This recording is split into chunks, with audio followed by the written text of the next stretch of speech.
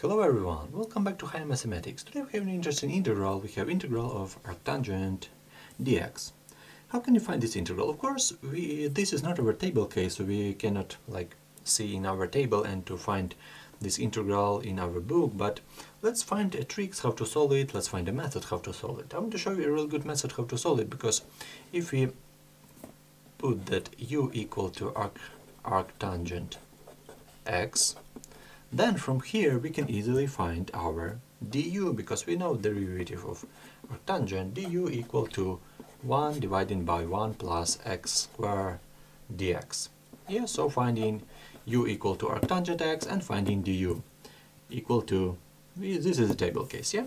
And of course we have dv equal to dx and from here v equal to x. So as you can see, we will use integration by parts. So we find all of these elements and we can find integ integration by parts formula. So from here, integral of arctangent x dx.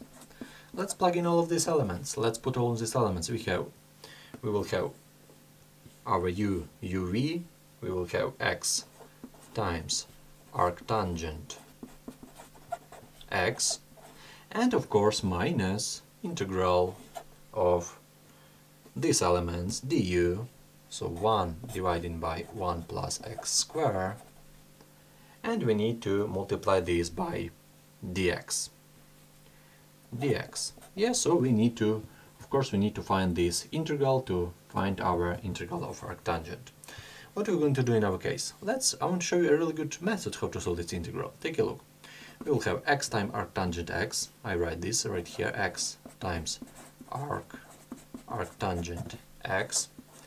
And I want to show you a really good method how to solve this integral. Take a look. I write minus, write one half right here behind this integral, and inside the integral I write d times 1 plus x square and dividing by this 1 plus x square. What I did, take a look, I put this 1 plus x square in our differential. And if we find this derivative, we will have 2x.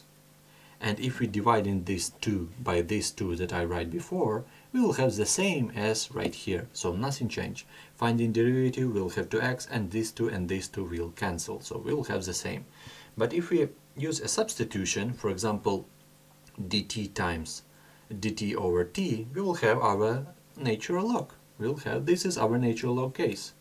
Because if we write, I write this right here, under all of these elements, I write this as 1 half, integral 1 plus x squared will be, for example, t dt times dt divided by t.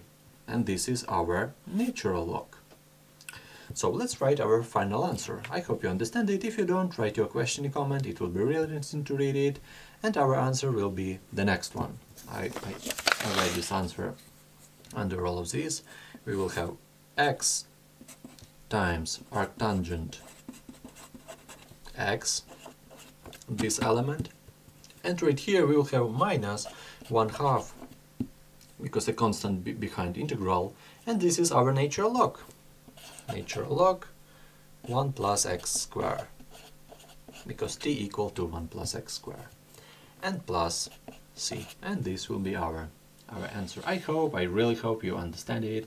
If you don't write your write a question in a comment. It, I I answer all of it and I try to to help you that you understand this integral.